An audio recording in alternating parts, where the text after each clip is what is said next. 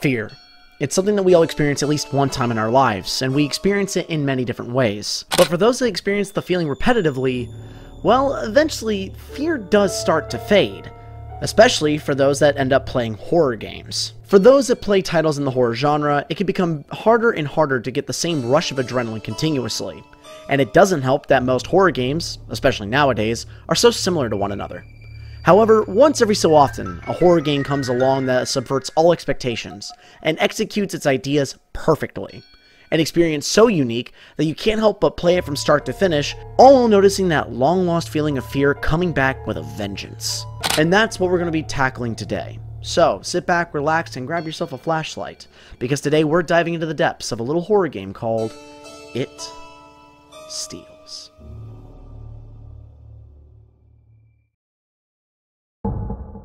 It Steals was created by a developer known as Zeekerss, and it started off just being a side project of theirs as they were working on a far larger project at the time. Now It Steals was first released as a far smaller experience that only featured you in a maze collecting orbs, all while trying to hide from a beast named Legs. However, as time continued, the smaller project became known as It Steals Classic, and a far larger game would be created using its bones, as the developer noticed that there was a lot more interest in It Steals than his current project. The full Steam version of the game would be aptly named It Steals, and released on July 22nd of 2020. This title will be split into multiple game modes, and each have different mechanics to them, not to mention unique creatures that are specific to each mode. When the game launched, it was met with praise from all over, and earned the title of the scariest game of 2020. And even today, the game is held in high regard, as it still holds a near 10 out of 10 rating on Steam, and a 4.9 out of 5 on itch.io. This game was designed in a way to subvert and take full advantage of your expectations, making you feel unsure of every move you make during your time with it. And when you first load up the game, nothing can truly prepare you for the experience that you've just committed to. Loading into the game for the first time, a quick flash of instructions will appear, lightly detailing your controls and objectives. After this, you'll find yourself in a dark checkered maze, with doors you can't open, writing you can't read, and orbs that litter the halls. You're only armed with a flashlight and a basic objective, collecting the orbs. However, you'll soon notice something that is considered a bit of a staple of It Steals, and that's its aesthetic, as this game features your FOV being completely pixelated. Where most horror experiences will only darken the halls to limit your vision, It Steals takes things one step further, as your vision is hampered by jagged pixels that cover the screen. This creates an interesting dynamic visually, as you can't make out fine details or see things clearly at a distance. And because of this, things can end up running together, which the game does take full advantage of. And this is not just a stylistic choice, as it also does affect gameplay. For anyone that's ever played a game in the horror genre, normally you'll have a limited amount of stamina, but when you try the same thing here and It Steals, you'll see a very big difference, as in It Steals, you have infinite stamina, and can run any distance you so choose. However, the longer you run, the more distorted your vision becomes, and it only resets after you cease your running. With all this stacked together, It Steals hits you with a wave of unease unlike any other. But since there's nothing you can do to change your circumstances, unless you're a pleb and go into the settings, all you can do is move forward through the maze and collect your objective. But soon, you'll start to notice something out of the corner of your eye. And eventually...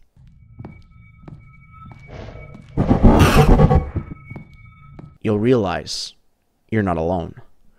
This is our introduction to the first major antagonist of It Steals, a monster called Legs. A creature with long limbs and a square body, with a human-like face spread across it. Its eyes glow red, and he makes his home in the dark corners where you can't see him. He stalks you relentlessly, but unlike monsters in other horror games, he doesn't outright attack you, but rather opting for peeking around corners and coming from behind while you're not looking, before he dashes with incredible speed to damage you. He's a monster that hides from you. He never directly shows himself. It also doesn't help that the pixelization of your FOV gives legs and other entities an added perk of becoming harder to distinguish through the halls and other terrain. This can lead to multiple occurrences where you think the monster is there, but isn't, which can actually cause you to not even trust your own sight. Despite this, you'll have to find a defense against the creature that's stalking you, otherwise you'll end up dead. And through trial and error, or just by basic intuition, you should begin to notice that he'll evade you if you shine your light on him, and this then becomes your salvation. When hearing him approach you, flashing legs will cause him to scamper away, giving you time to move. However, things can't be that easy, as eventually, after enough attempts at trying to catch you, legs will change the game.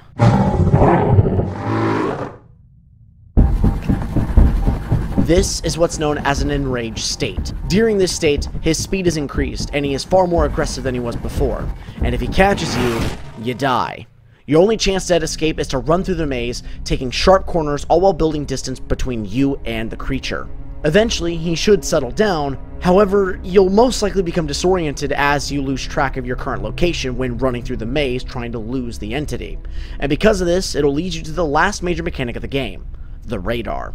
The radar acts as sort of like a map, but you'll soon notice that this map barely shows any sort of details in the area, and only gives off a rough laser-like outline of your current space. The best way to describe the way that the radar works is that it more shows anything that emits light and the walls that that light hits with the only notable thing on the radar to actually worry about is the blue glowing spot, which indicates orbs you've missed. But it can't always be trusted, as your radar may show large glowing blue spots, but in fact, it's legs adapting to you trying to bait you into its clutches by pretending to be an orb. Now, you may also be encouraged to run continuously in order to get through the mode in a faster pace, but even then, It Steals will punish you for abusing your infinite stamina, as legs will become far more aggressive, and the more you run, it will eventually lead to an early death. Now, after enough time, you should inevitably come across your final orb, and collecting it will play the ending of the current mode.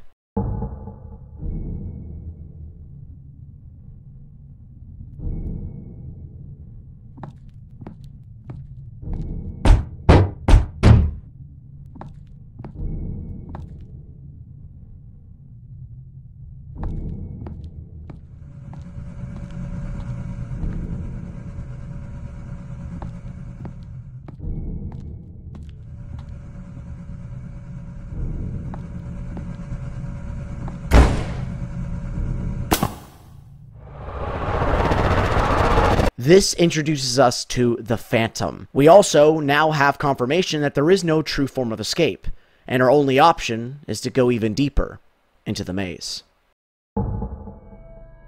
The next major mode is called Shutter. The most immediate difference you'll notice is that your flashlight has now been replaced with a camera, and that camera has a limited number of shots it can take before its power runs out. The reason for the camera is now legs acts different than before.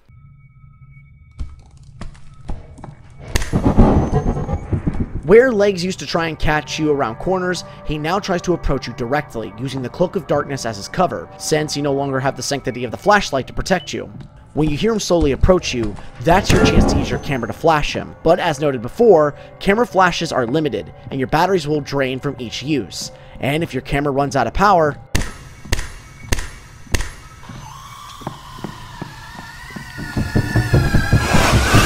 you'll meet a very quick death. You do at least have one perk in this mode.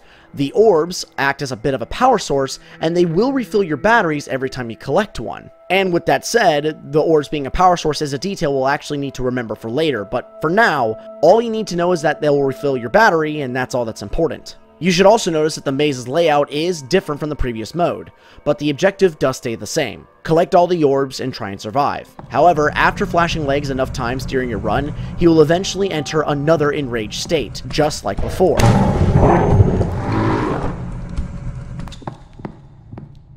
This time his speed is increased to an insane level, and your only hope is to flash him in turn to buy time till he calms back down.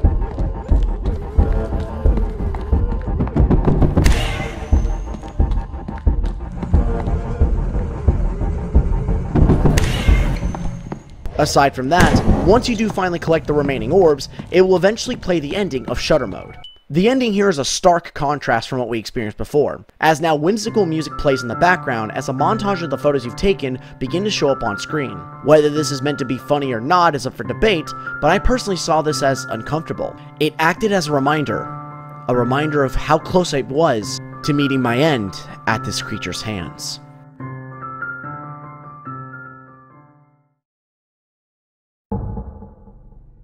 This is the third game mode in It Steals, a mode called Hide and Seek, and it's one of the most unique modes in the entire game. And you'll notice very quickly that this mode is nowhere near the same as the ones before. The game will tell you that you're it, and you would think by the title alone that your objective would be to hide.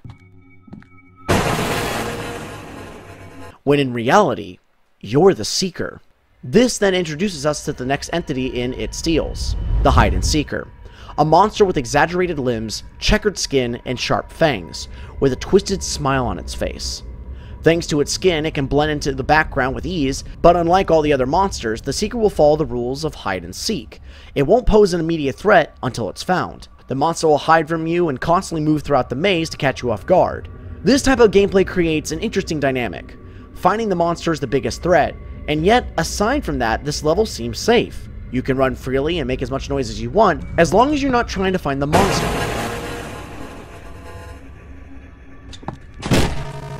Whether intentional or not, you're going to end up running into this entity more times than you can count. But thankfully, your core objective does stay the same. Collect all the orbs and survive. Now you may ask yourself, what is the best way to actually avoid this creature? Personally, I found it was best to look at the ceiling or the floor, taking my time, and moving somewhat slowly and methodically through the stage, all while making sure to look at my peripheral vision so I don't run into the Seeker. However, if you do end up running into the entity, you'll have 5 seconds to hide, though hiding will only delay the inevitable, as the creature almost always seems to find you eventually, and when that happens, all you can do is run. But as long as you take your time, you should be able to get all the orbs with little resistance. However, contrary to what you might think, Collecting all the orbs without finding the entity may not be the best play, because in doing so, the Seeker will become... well, enraged. So you should be prepared to run. But once you have obtained your final collectible, you're treated to the ending of the mode. You find yourself entrapped in a room with no way out, as the door across from you is locked, and all you can do is bang against it. You'll inevitably be enticed to look around the room, where you'll see the entity in the corner. It'll begin to hum a sadistic tune through its distorted voice, and its body will begin to stretch and contort outwards, and after a few moments, you'll inevitably meet your end. This is the fourth game mode in It Steals, titled Living Halls. And when you first start off, you'll notice a major set piece change. Where the other modes have all had you in identical environments, Living Halls starts you off in a vault. Looking at your map, you can see greenish hues in certain locations, which marks other vaults of a similar design, and you're armed with a new device that is strapped to your wrist. As you exit the vault, a timer will begin to count down, and your new device will begin to beep. This mode isn't unlike what you've experienced before, as the creatures in this level are best described in the title itself.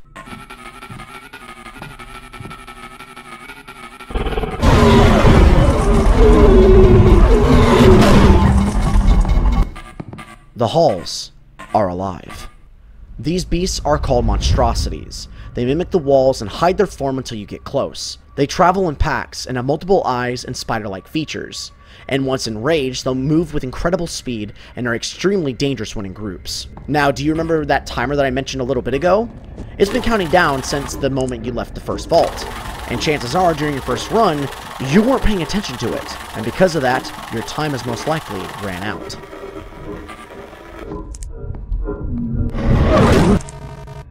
When your timer is up, the monstrosities will become active and charge after you. You can run, but you're only delaying your demise by seconds. This is where the vaults come in. You have a limited amount of time to collect as many orbs as possible, but eventually you'll have to retreat back to a vault in order to survive. When you enter a vault, you'll have to wait while the monstrosities roam free, but from time to time, your device may start emitting screeching noises and showing text, baiting you into opening the vault door. These messages are from the monstrosities themselves, and entertaining these messages will always lead to death. Inevitably, your timer will reset, and you'll be able to exit the vault and make another run. But be warned, the vault you use will become deactivated for the cycle until you've used a different vault. So because of this, you need to constantly be swapping vaults and keeping track of the closest ones to you. Now as always, the main objective does stay the same. Collect orbs when given the chance. But unlike the previous games where there was only one creature to deal with, the more orbs you collect will lead to more monstrosities becoming active. And due to this, it can lead to a very big problem. That problem being the simple fact that with more monstrosities roaming the halls, it can very much easily lead to you becoming cornered. That is, unless you stay mobile. However, running constantly is also ill-advised, as it will enrage the creatures more and more. This all leads to Living Halls becoming one of the most difficult game modes in It Steals between having to keep track of your timer, the locations of vaults, how close you are to a vault, what orbs you've collected and which ones you need to end up collecting, keeping track of locations of monstrosities and paying attention to your detection system, there's just so much to keep track of and to deal with in this mode, and it really will test your patience. But eventually you'll get a feel for it, and inevitably you'll end up collecting your final orb.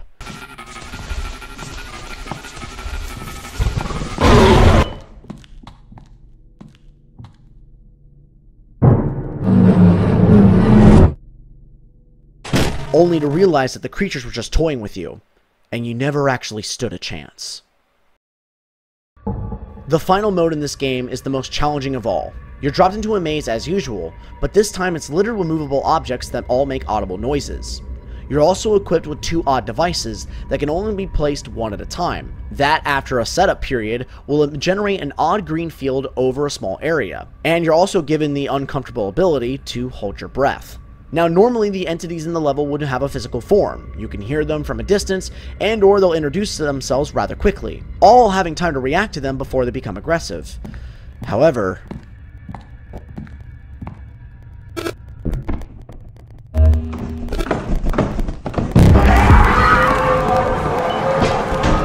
The Phantom is far different. The Phantom is a blackened creature with no set form or mass. Its body shifts rapidly in size and moves in much the same manner. This is the same creature you were introduced to during the ending of the classic mode, and it is by far the most dangerous out of the lot. In this mode, you and the Phantom are invisible to one another, but along that same vein, just like you, the Phantom can hear you move. Your only form of detection for the creature is the environment around you, as this ghost figure will tear through all the objects, flinging them in all manner directions, even to the point of blocking certain passages. In order to stay hidden, you'll have to hold your breath while it passes, but you can only do this for a few seconds, so timing is everything. This is not a mode you can just rush.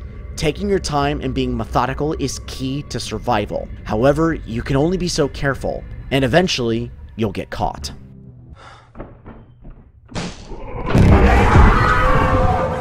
This is where the devices come into play. The barriers they create has a one-time repelling effect on Phantom, so if you're spotted, you'll need to sprint to the device before it can reach you. Once you're in the field, you'll be safe for a moment until the Phantom trips the barrier and disables the device. Now keep in mind, you only have two of these machines, and each of them only have a single use. So you're going to need to be strategic with their placement and not waste them, all while being mindful of your presence to the Phantom and staying hidden as much as possible. Because if you end up using all your devices and get caught without having any kind of defense,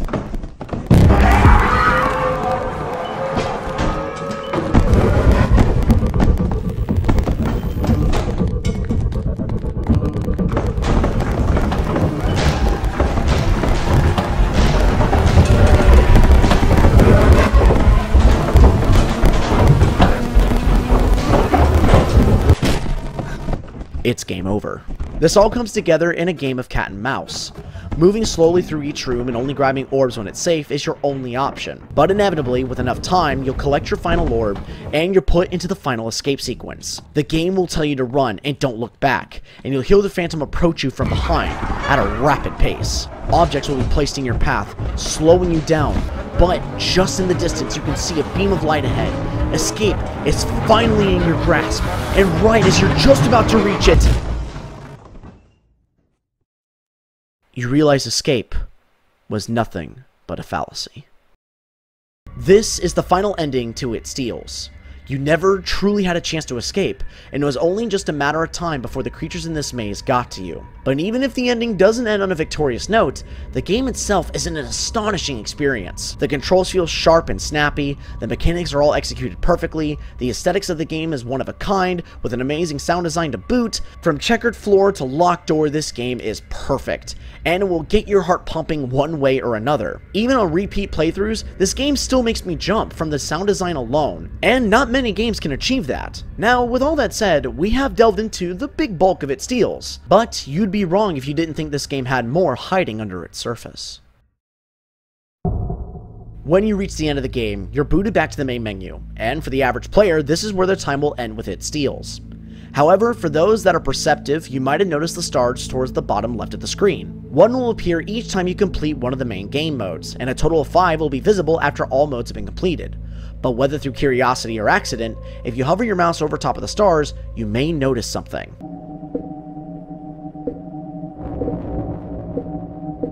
A sound effect plays that is identical to the ones that can be heard when hovering over clickable options on the main menu, and by clicking the first star, you'll have entered the next phase of It Steals. Each of the first three stars is linked to an extra mode, and this mode acts as a harder variant for the modes you've experienced during the base game, with the first extra game mode being a harder version of Classic Mode, titled The Labyrinth. Unlike the first portion of the game, you'll see something major as soon as you load in. You're actually able to see the sky, and sunlight beams down into the maze.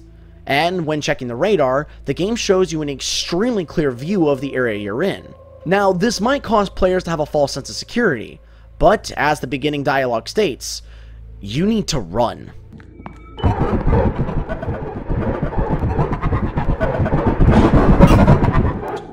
Legs is back, but he's far faster than he was in his previous mode, and he's far more aggressive. You may also notice that the orbs have drastically increased in number, and the maze has drastically increased in size when compared to classic mode. And due to the size of this stage, it only adds to the increased threat of legs, as now he has a plethora of options to approach you, and every corner and every turn is a risk. You may also begin to notice that the daylight that's flooding the maze is actually fading, and though you don't know it at the time, this is actually an indication of a time limit. Now, you do have a perk in this level, as you can actually run freely with no issue. This means you'll be sprinting all around the map while utilizing every skill you picked up in Classic Mode. When you hear it approach, hug the nearest corner and wait till you can flash him. After enough flashes, he'll become enraged just like before, but he's far faster than he ever has been, so cutting corners and staying mobile is your only chance. Just like always, of course, you'll inevitably grab your final orb. Unlike in all the previous modes up to this point, there's no ending. It just abruptly stops.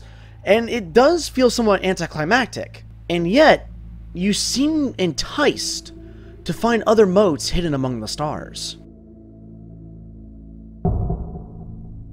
Shudder mode is the second of the hidden game modes, and in this mode it's in the same style as the previous of the Labyrinth, where it features you being outside with the light from the sky filling the halls below. And with its name, it's pretty easy to guess that Shudder mode is the harder version of Shutter mode. Also, like the previous mode where the sunlight was actually an indication of a time limit, the same thing is involved here, as it will slowly get darker over time, and this means that there's a time limit involved, and the longer you take, the bigger risk there is for death.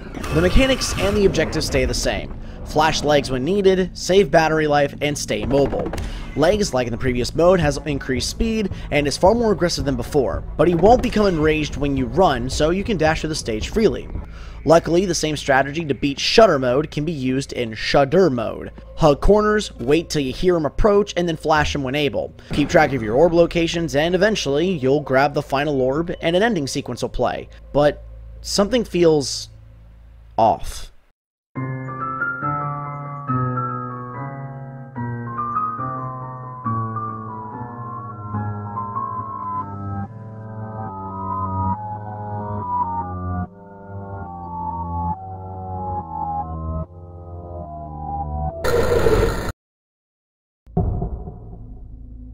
This is the true final mode in It Steals, a mode called Junkyard. This is the most open area that we've seen throughout the entire game, and as the beginning instructions will inform you, this is hide and seek all over again. However, where the original hide and seek mode had tight corridors, small areas to work in, and darkened halls that you had to travel through, the junkyard is the complete opposite, with large open spaces to travel in, orbs all over the place to collect, and the entire space is filled with light so you can see pretty much everything and a flashlight isn't needed. But you shouldn't get too comfortable as the hide and seeker can move everywhere behind crates, around corners, or right in front of your path.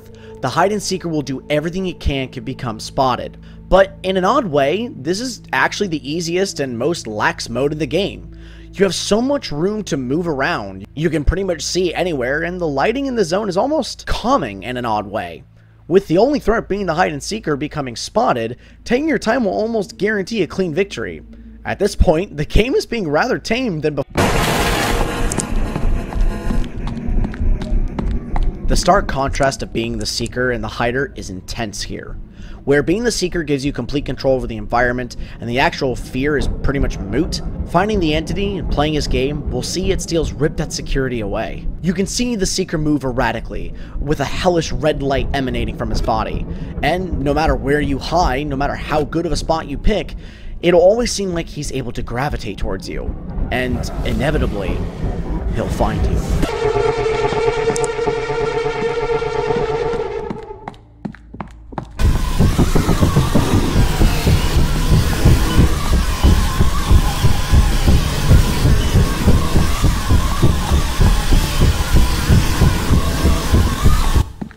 And then the game returns control to you. But it doesn't feel the same way now. You become uneasy at the simple fact that a single slip up can see you becoming the one that must hide all over again.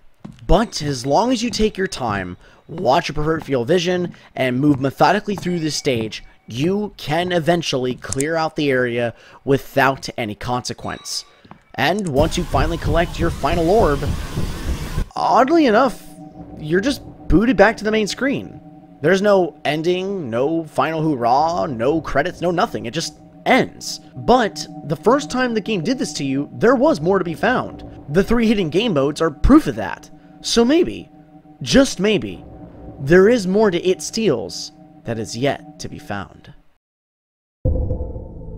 If you begin to dig into the files or the community of It Steals, you may come across a few things of interest.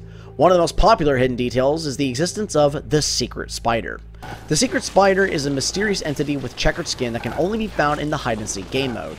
This creature has an extremely low spawn rate, and it can take hours to get some good RNG and get it to spawn. Now luckily, the spider has been caught on a few recordings, and those recordings have been posted online, but what they show is some disturbing mechanics from the spider. The spider is faster than the player's base walking speed, and it will always stick to the ceiling while it chases you. And to make things worse, it's always aware of your location, so no matter where you go, the spider will find you. And it's also the only creature in the game with an actual jump scare animation, and one touch from it means game over. Its true purpose for being in the game is completely unknown, and information on the spider is extremely sparse. But surprisingly, the spider isn't the only entity with a mystery surrounding it. In Living Halls, if you have the ability to go out of bounds, you can find a creature with a terrifying screech that shares animations with the Phantom. This being is called the Freak. It has red checkered skin, dwarf teeth, and a distorted body. Not much is truly known about this creature, and in fact, most information is extremely sparse. The only reliable source of information I could find was from another fellow creator on YouTube. He was able to bring the entity into a playable map, and gave it working animations. He describes the Freak's function as somewhat of an in-game manager, as it controls certain events that you experience throughout It Steals, which leaves a very large question in the air why did the developer go through so much trouble of creating a unique creature with unique sound effects to solely be an in-game manager? Of course, it could just be leftovers from a scrapped game mode, and or it could very well be possible that the Freak is actually the Phantom's true form, since they both share animations. But I sadly couldn't get any confirmation from Zeekerss himself, so all of this is just purely conjecture, without having Zeeker give a direct statement on it. Now, aside from these unknown creatures, there are also other more tame but equally disturbing elements to It Steals that no one seems to focus on, like notes spread across the walls, all with writing that somewhat is similar to Doctor's handwriting. You can also find smiling faces painted onto the maze, blood smeared across the floor, and music becoming more distorted and deafened each time you change game modes. But the best example of these more obscure details that no one seems to notice are the doors. Every door in the game stays shut, and all the player can do to them is knock on them. The function seems to serve no purpose, or at least none that has been discovered as of yet, but as you approach each door, you might hear something that seems odd.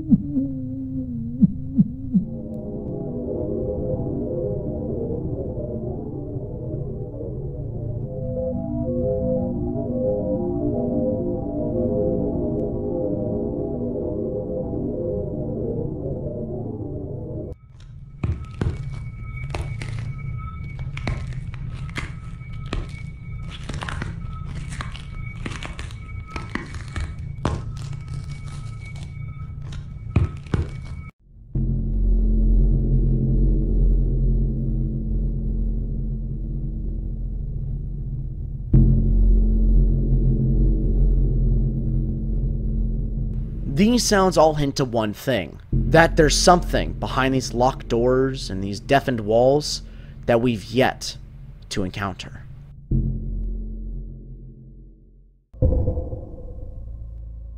Out of every question and mystery It Steals presents, there is one that is far bigger than the rest. What is the story behind the horror? What is the lore of It Steals, if there is any? Now, if you go online and ask that question to anyone, people normally describe this game as one that mainly focuses on its gameplay and mechanics and nothing more. However, with the slew of details in this game, I find it hard to believe that there's nothing here, that there is no story, or at least some idea of a narrative. In fact, I went as far as to try and contact Zeekerss himself, but sadly, I was never able to get any sort of reply. So I ended up digging through all the old replies on the server where I found the info on Freak, but ended up finding conflicting information. Some said there was no story, some said the story was connected to other games that Zeeker made, but nothing was concrete. That was until I found the holy grail of confirmation. When searching for keywords in the server, towards the very end of the list, you can find two separate replies from Zeekerss that hints at a story, and that story is 100% a secret. This is what I needed to find, so I went to work. I played the game for hours on end, trying to scrounge up any details I could find. And through all my research, I've come up with and found several possible theories on the underlining story of It Steals. But first, we need to establish a few things. One, the orbs have some kind of significance in the game. Not only are they the main collectible, but since they refill your batteries and the camera, they might actually be a power source. 2. The game will drop clues and other information onto the loading bar, which hints at several possibilities. 3. Man-made structures litter the insides of the maze vaults, bookshelves, and other random items, and this clearly hints at human involvement in some fashion.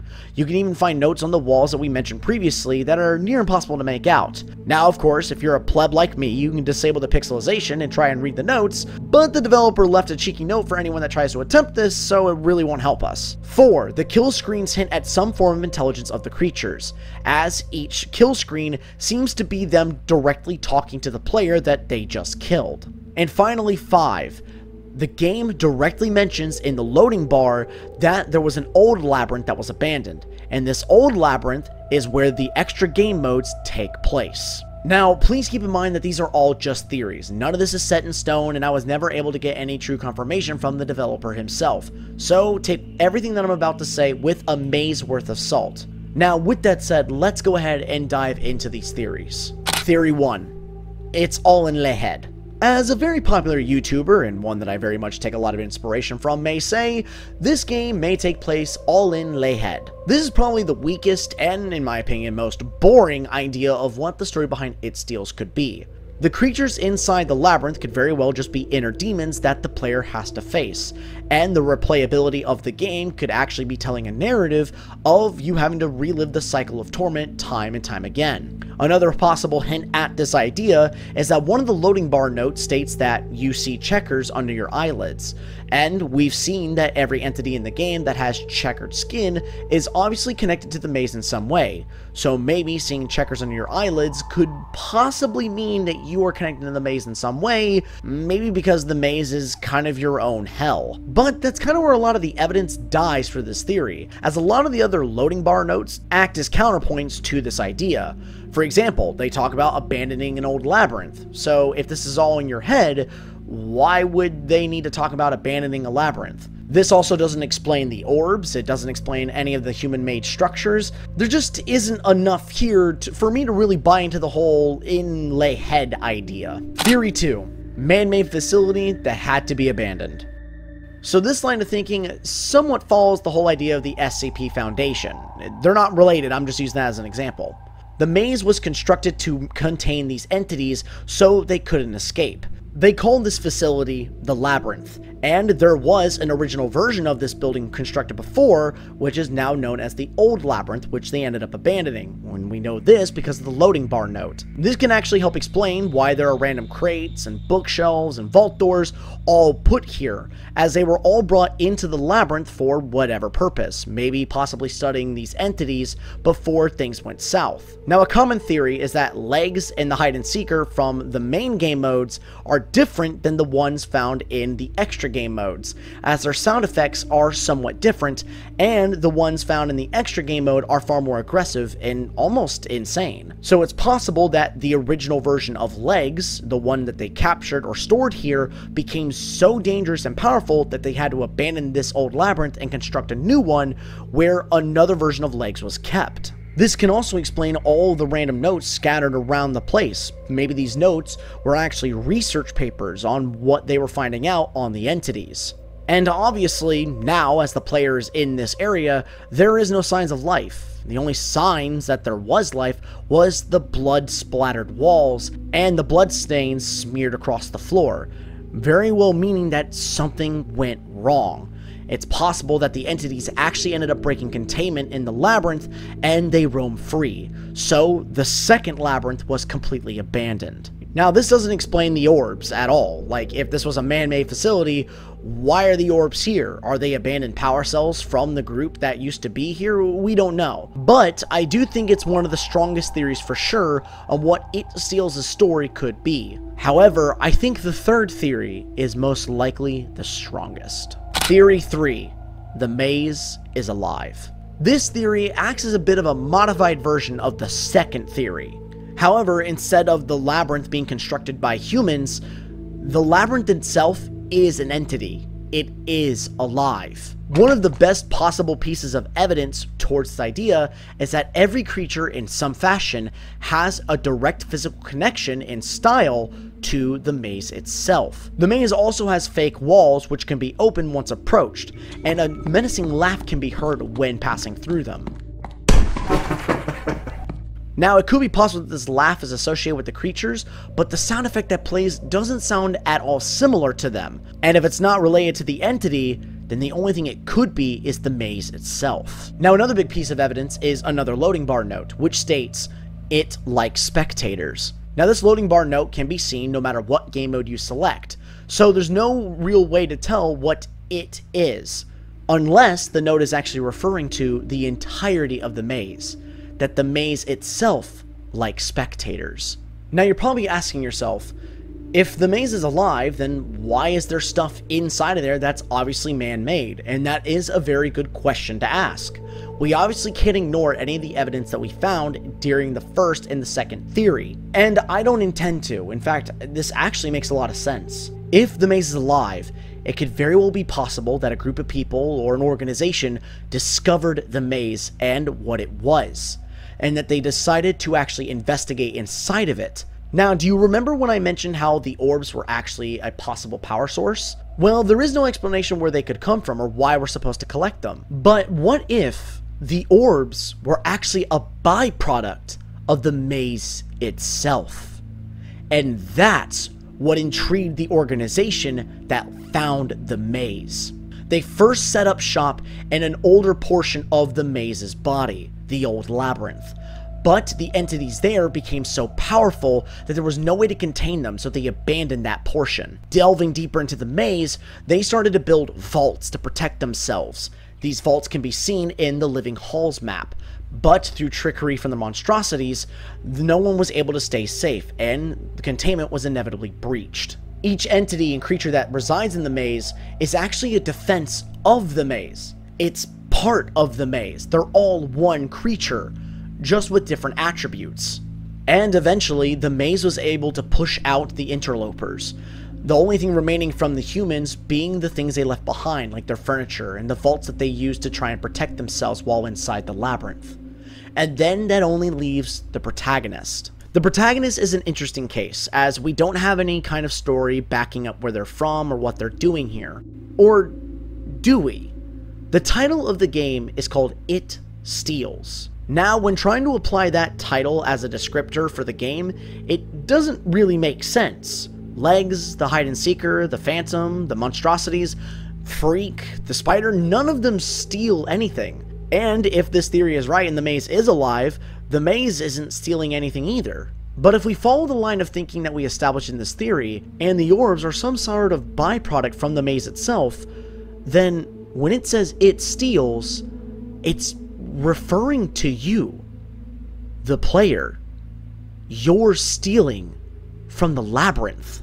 If the reason that there was human intervention inside the maze was because of collecting this byproduct off the maze, the blue orbs that seem to emit energy, what if you are a member of that organization? You were sent into the maze after containment was broken, and all of the humans either evacuated or died.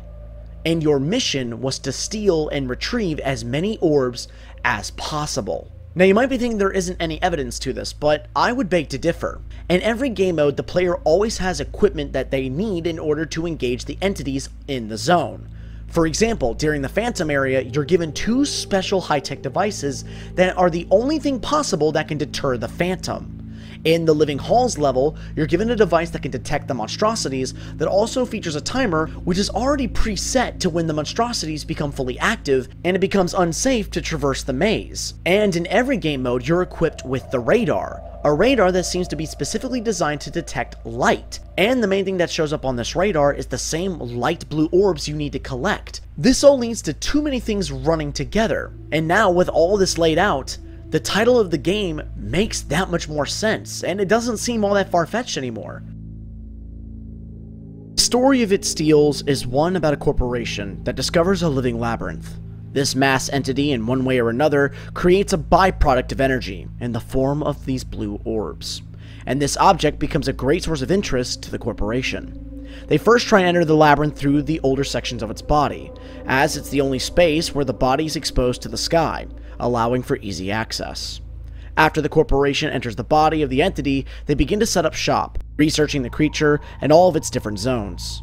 In retaliation, the maze spawns extensions of itself, guardians of sorts, that are designed to protect it from interlopers. Because of these guardians, the corporation begins putting countermeasures in place to deal with them, constructing vaults and other devices that could protect anyone entering the maze. However, these measures were not enough, as eventually the maze's guardians were able to break containment, and they began to slaughter the researchers and workers of the corporation. Due to this failure, the corporation began attempting a new tactic. In order to minimize the chance of another mass slaughter, they used the research that they accumulated and the devices they constructed as armaments for a single person. And that person is you. You are told to enter the maze alone with a simple mission. Collect as many orbs as possible, steal from the maze, and survive while doing so. But as we know from the end of the game, your mission is a failure. And this whole idea of sending a single person in only to die is strengthened in one of the loading bar notes, meaning that every time you play, it's another person entering the maze with the same mission, and that their fate will be one that leads to death. It Steals is a game that leaves me with a very odd sensation. After becoming so accustomed to its mechanics, as well as its underlining story and the entities that lie within the halls, I still find myself becoming scared and anxious every time I load it up. The fact that no matter how good I get at this game, and no matter how many times I play through it, I'll always start feeling excited, only to soon after have those same feelings replaced with ones of anxiety and dread.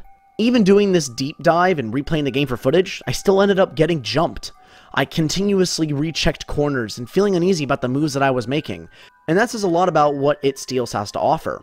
This experience is a true testament to what every horror game should strive to be. It's aesthetically unique, it has mechanics that are executed perfectly, each mode offers a variety of creatures and mechanics for the player to adapt to, while also making those entities and mechanics not overstay their welcome. And finally, it still has plenty of mysteries to solve, and it only entices me to investigate more into it and thanks to its replayability, I'll always end up coming back It Steals again and again and again, anytime I want a good scare, or if I just want to play the game for a challenge. Now yes, It Steals is a very short experience. On a blind run, it might take you 2 to 3 hours to fully beat it, and on repeat runs, you'll probably be able to get through it in about an hour or less. But honestly, I don't think the length truly matters here. It Steals keeps you guessing from start to finish, even with its short runtime. And it will for sure leave you with a bigger impact than almost any other title in the genre. And for that, and many other reasons why, It Steals is a perfect example of a horror game done with